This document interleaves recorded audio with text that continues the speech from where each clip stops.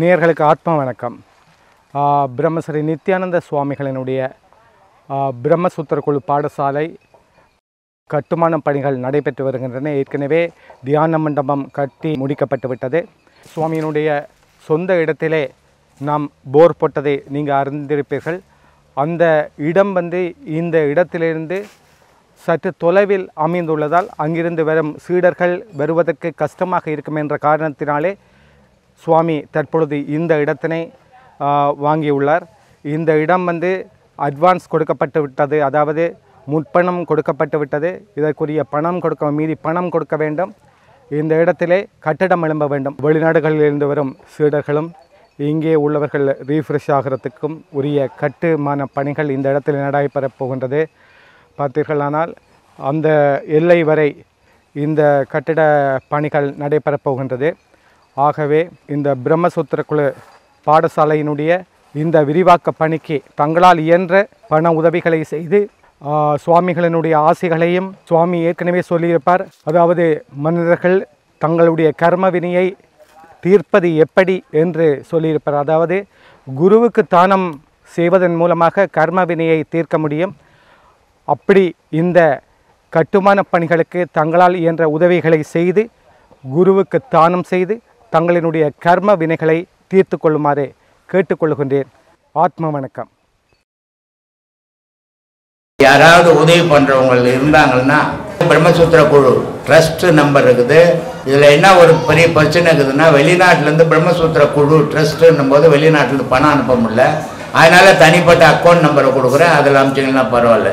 அதே மாதிரி சாய் தர்மாவினுடைய ஓனர் சாய் தர்மா டிவியினுடைய ஓனர் செந்தூர் அண்ணனுடைய அக்கௌண்ட்டை போடுவாங்க. அந்த அக்கௌண்ட் நம்பருக்கு அமிச்சிங்கன்னா கூட வந்து ஆசிரமத்துக்கு சேர்ந்துடும். நீங்கள் உதவி பண்ணுற பண்ணீங்கன்னா அந்த வேலையை துவங்கி அந்த வேலையை நான் முடிச்சிடுவேன். பிரம்மசூத்திர குழு பாடசாலை ஆசிரமத்தினுடைய கட்டுமான திருப்பணிக்கு தங்களால் இயன்ற நிதி உதவியை வழங்குவதற்கு பின்வரும் வங்கி கணக்குகளை நீங்கள் பயன்படுத்திக் கொள்ளுங்கள். பிரம்மசூத்திர குழு Andhra bank Manavala Nagar branch Tiruvallur. D Senthuran bank HDFC branch Porur. Account number five zero one double zero three five seven five three six zero seven nine IFSC code HDFC double zero double zero three nine zero Jeevanandham N account number five zero one double zero three double two four three five six three zero IFSC code HDFC double zero double zero six eight seven branch Anna Nagar that avenue தங்களினுடைய மேலான தர்மங்கள் வரவேற்கப்படுகின்றன. மேலும் விவரங்கள் தேவைப்பட்டால் பின்வரும் தொலைபேசி எண்ணிற்கு அழைக்கவும். Senthuran nine seven eight nine zero one four five four seven நன்றி ஆத்ம வணக்கம். நம்மள பல பேர் வந்து தனிமை சிறையில் நம்மளே அடைப்பட்டுக்கிட்டு வந்து மகிழ்ச்சி வேணும் மகிழ்ச்சி இல்லை அப்படின்னு தேடி திரிஞ்சிட்டு இருக்கோம். ஸோ இந்த மாதிரி தனிமை சிறையிலேருந்து விடுபட்டு மகிழ்ச்சி அடையணும்னா நம்ம என்ன செய்யணும் சுவாமி? தனிமை சிறைன்றது யாருமே உன்னை அடைக்கல உன் மனமே உன்னை அடிச்சது ஏன் அடிச்சதுன்னா பிறரோட சேரத்துக்கு ஒற்றுமை இல்லை உங்கள்கிட்ட அவங்க கூட சேரக்கூடாது இவங்க கூட சேரக்கூடாது அவன் தாழ்ந்தவன் இவன் உயர்ந்தவன்ற வேற்றுமை மனசுக்குள்ள உருவாகும் போது தான் நீ உன் மனம் தனிமையை விரும்புது. எல்லாரும் மனுஷன் தான் எல்லாரும் ஒன்று தான் நம்மளும் ஒன்று தான் சேரும்போது தனிமை வராது இனிமை வரும். எல்லோரோடும் சேர்ந்தா என்ன வரும்? சந்தோஷம் வரும். தனிமையில் உட்காந்தன்னா வேக்காலம் வரும். பல சிந்தனைகள் தீவியாபி சிந்தனைகள் வந்துடும் நம்ம எதுக்கு வாழ தூப்படுத்தலாமா நம்ம எதுக்கு வாழ மண்ணு குச்சிடலாமா? அப்படின்ற தீய எண்ணங்கள் வளர்ந்துடும். நாலு பேரோடு இருக்கும்போது அது வளராது. அப்போது அந்த தனிமைன்றது எது உருவாக்குச்சுன்னா உன் மனம் உருவாக்குச்சு. அதை உடைச்சிட்டு நீ வெளியே வந்துடணும். வெளியே வந்து நாலு பேரோட அன்போடு இருந்தீங்கன்னா உனக்கு தனிமை இருக்காது இனிமை இருக்கும். சொல்லுமா? சுவாமி நம்மள பல பேர் வந்து சரியான தருணத்தில் வந்து சரியான முடிவு எடுக்கிறதுக்கு தடுமாறுறோம். ஸோ இதற்கு என்ன காரணம்? என்ன பக்குவம் இல்லை நமக்கு? பலவீனம். அனுபவம் இல்லை. அனுபவம் இல்லை. இதுக்கு காரணம் பலவீனம். ஒரு விஷயத்தை இங்கே தான் அறிவு வேலை செய்யணும். அதான் மதி வேலை செய்யணும். ஒரு விஷயத்தை செய்தோம். ஒரு தோல்வி அடைஞ்சிட்டோம். சரி இந்த விஷயம் தோல்வி அடைஞ்ச போது வாழ்நாள் ஃபுல்லாக இதில் தோல்வி அடைஞ்சிடுவோம். அடையக்கூடாது. அப்போது அங்கே மதி வேலை செய்யணும். சரி இது தோல்வி அடைஞ்சது அடுத்த முயற்சி பண்ணுவோம். அப்படின்னு ஒவ்வொரு முயற்சியிலையும் அனுபவங்கள் கிடைச்சி அவள் கடைசியில் அனுபவத்தினுடைய உச்சியில் நிற்போம். அப்போ அவனுக்கு அந்த தோல்வியே வராது விருத்தி வராது. ஆனால் அது இல்லாமல் நான் செய்ததே போயிடுச்சு அப்படின்னு உட்காந்துட்டான்னா அவனுக்கு விருத்தி வந்துடும் வாழ்க்கையில். அந்த விருத்தியால் அவன் வாழ்க்கை சிறப்பாக இருக்காது.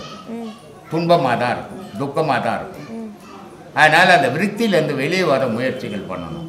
அப்போ அந்த முயற்சிகள் எப்படி கிடைக்கும்? நல்ல அன்பு உள்ளவங்க கிட்ட பழக கற்றுக்கணும் நல்ல அறிவு உள்ளவங்கிட்ட பழக கற்றுக்கும் அப்படி பழகும் போது அவங்க சொல்லி கொடுக்குற விஷயங்கள் உன் மனசை மாற்றும் அந்த மாதிரி பழக்கத்தை நீ உருவாக்கணும் எப்பவுமே பெரியவங்க கூட ஒரு தொடர்பு இருந்ததுனாவே உன்னுடைய விருத்தியிலேருந்து பல விஷயங்கள் அவங்க வந்து உன்னை அறியாமையே சொல்லுவாங்க. அப்போ நீ வெளியே வரலாம். நீ யாரு கூடமே சேரலைன்னு சொன்னால் மிருக மாதிரி நீயே உன்னை அழிச்சுப்ப சுவாமி இப்போ வந்து நம்மளோட பல கஷ்டங்களுக்கு காரணம் வந்து நம்மளுக்கு ஆசை தான் அப்படின்னு சொல்லி சொல்கிறோம் ஸோ இந்த ஆசையை வந்து நல்ல விதத்தில் பிரயோஜனம் பண்ண முடியுமா? பிரயோகம் பண்ண முடியுமா? பண்ணலாமே. பண்ணலாமே. இப்போ இது என்னது ஆசை தானே? அதான் அதுதான் கேட்குறேன் இப்போ நான் ஒன்றும் ஆசை இல்லாத காட்டில் போய் உட்காந்து இல்லையா எனக்கு ஆசை. ஒரு ஐம்பது பேருக்கு சாப்பாடு போடணுன்ற ஆசை இருந்தது. என்னடா இது? ஐம்பது பேருக்கு தான் சாப்பாடு போட முடியுமா? நம்மளால். அவள் தானே நம்ம சக்தி. நூறு பேருக்கு போட்டால் நல்லா இருக்குமேன்ற ஆசை. நூறு பேர் போடும்போது ஐநூறு பேர் நூறுக்கு தானே போட முடியும்ன்ற போது ஐநூறு ஆச்சு. ஐநூறு இன்னைக்கு ஆயிரம் ஆச்சு. அப்போ இது ஆசை தான் ஆனால் உன்னுடைய ஆசை உலகத்துக்காக இருக்கணும். உனக்காக இருக்கக்கூடாது. உனக்காக இருந்தால் அது ஆபத்தை உண்டாக்கும். உலகத்துக்காக இருந்தால் ஆபத்து வராது. மனம் சந்தோஷமாக இருக்கும். எப்போவுமே தான் சாப்பிட்டு சந்தோஷப்படக்கூடாது. பிறர் சாப்பிட்றத பார்த்து சந்தோஷப்படணும். அப்படிப்பட்ட மனம் எப்பவுமே சந்தோஷமாக இருக்கும். சொல்லுங்க. சுவாமி நிறைய பேர் வந்து ரொம்ப பொறுமைசாலிகளா இருப்பாங்க ரொம்ப நிதானத்தை கடைபிடிக்கிறவங்களா இருப்பாங்க. இந்த மாதிரி இருக்கிறவங்களுக்கு வந்து வாழ்க்கையில வந்து பல பேர் அவங்கள வந்து யூஸ் பண்ணிப்பாங்க. நிறைய கஷ்டங்கள் அவங்களுக்கு சந்திக்க வேண்டி இருக்கும். ஸோ இந்த நிதானம் பொறுமை இதெல்லாம் வந்து அளவுக்கு மீறி இருக்கலாமா? இல்லை ஒரு கட்டத்துக்கு மேலே அதை நம்ம எடுத்துடணுமா? ராமகிருஷ்ண பரமஹம்சர் ஒரு கதை சொல்கிறாரு ஒரு ஊருக்குள்ள ஒரு வழி. அந்த வழியில் ஒரு பாம்பு படுத்துனது. யார் போனாலும் கட்சி கொண்டுடும். அதனால் அந்த வழியே யாருமே போகிறது கிடையாது. எல்லாம் பயந்து போய் ஊருக்குள்ளே இருக்கிறாங்க என்ன மாதிரி ஒரு பைத்தியக்கார சாமியார் போகிறான் அந்த பக்கம். போகும்போது அந்த ஊர் ஜனம் சொல்லுது ஐயா பாம்பு இருக்குது அங்கே அது கடிச்சா யாரும் பிழைக்கிறது இல்லை. அந்த பக்கம் போகாதீங்க. அப்படின்னுட்டு. இவர் சாமியார் என்ன சொல்கிறாரு திமிர் பிடிச்ச சாமியார் என்ன மாதிரி? அவர் என்ன சொல்கிறாரு அது கடிச்சா நான் செத்து போகிறேன் போயா அப்படின்ட்டு இவர் போகிறாரு போன உடனே அதே மாதிரி பாம்பு கடிக்க வருது. கடிக்க வரும்போது இவர் தான் சாமியார் வச்சேன் அதை கட்டிட்டார். கட்டிட்டு புத்தி சொல்கிறாரு இனி நீ யாரையுமே கடிக்கக்கூடாது. நான் அந்த பக்கம் போவேன்.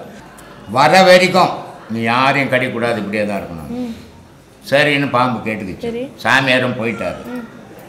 இது கடிக்காததுன்னு ஊர் ஜனமெல்லாம் கல்லுலையும் கட்டிலையும் அடிச்சு இது உடம்பெல்லாம் புண்ணாக்கிட்டாங்க. குத்து உயிரும் கொலை உயிரமாக்குது பாம்பு சாமியார் திருப்பி வர்றாரு. என்னடா இது? நம்ம பாவம். பாம்பு கடிச்சிக்கின்னா பாதுகாத்தா வந்துக்கும்? நம்ம யாரையும் கடிக்காதன்னு சொல்லி போட்டோம் இத்தை இப்படி அடிச்சு கோலம் பண்ணிட்டாங்கல்ல? அப்படின்ட்டு சா அவர் சாமியார் என்ன பண்ணுறா பாம்பை நல்லா ஆக்கிட்டு ஏன்பா இப்படி பண்ண? அப்படின்றாரு. நீ தானே சாமி சொன்ன யாரையும் கடிக்கக்கூடாதுன்னு நான் கடிக்கிற வரையும் என் என்னை எந்த கண்டாவை எவனும் வரமாட்டான். நான் கடிக்காதுக்கும் போது என்னை வந்து எல்லாரும் கல்லை தச்சு என்ன இப்படி ஆக்கிட்டாங்க. அப்படின்னு. அப்போ சாமியார் சொல்கிறாரு உன்னை கடித்து கொல்ல வேணான்னு தான் சொன்னேன். சீர வேணான்னு சொல்லலை. அப்படின்றார். இல்லையா? அப்போ சீரி இருந்தால் அது உனக்கு பாதுகாப்பு. நீ கம்மன்னு பார்த்துருந்தா கழுத்துக்கு போட்டு போடுறான் மேலே. அப்படின்றாரு. அது மாதிரி நான் நல்லவன் நல்லவன் கம்மன் வீட்டில் பார்த்துருந்தா கல்லெத்து போட்டுருவாங்க தலையில். கெட்டவன் மாதிரி நல்லவனாயிரு. அது உனக்கு பாதுகாப்பு. சரிதானே? சரி. சுவாமி ஒரு புறம் வந்து விஞ்ஞானம் விஞ்ஞானம் ஒரு புறம் வந்து விதி. இது வந்து நம்ம எதை நம்பணும் எதை நோக்கி நம்ம போகணும்? நீ எதையுமே நம்பாத. விஞ்ஞானத்தை நம்பி ராக்கெட்லேயும் பறக்காத.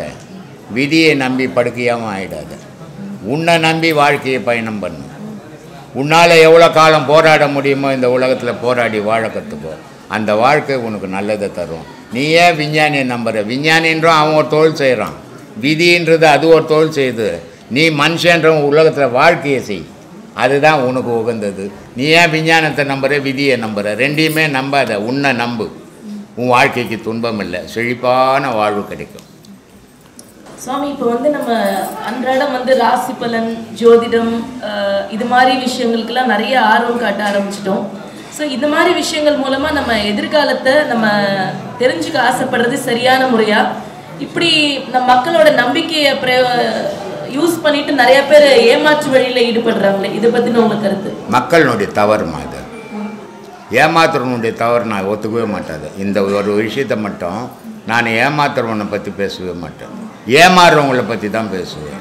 இந்த மக்களினுடைய ஆசை உன் வாழ்க்கை இன்னைக்கு ஐம்பது ரூபா சம்பாதிக்கிற ஐம்பது ரூபாய்க்கு நீ சாப்பிட போகிற உன் குழந்தை குட்டியோடு நீ இருக்கலாம். நீ என்ன சோ ஜோசியம் பார்த்து பேப்பரை படித்து அதில் இருக்கிற ராசிங்களை பார்த்து நீ என்ன எவன் உலகத்தில் உயர்ந்தவன் இருக்கிறான்? இது முட்டாள்தானம் இல்லையா? இது மூட நம்பிக்கை இல்லையா?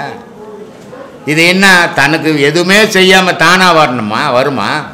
வராது.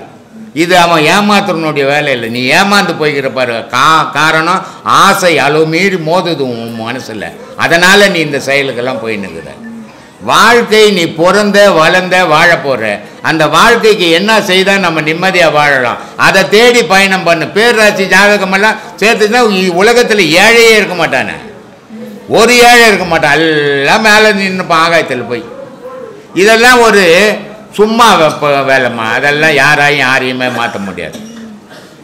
நீ உனக்கு என்ன விதிக்கப்பட்டதோ அதுக்கு அந்த வட்டத்துக்குள்ளே தான் உன்னால் சுத்த முடியும். அதை தாண்டி சுத்த முடியாது.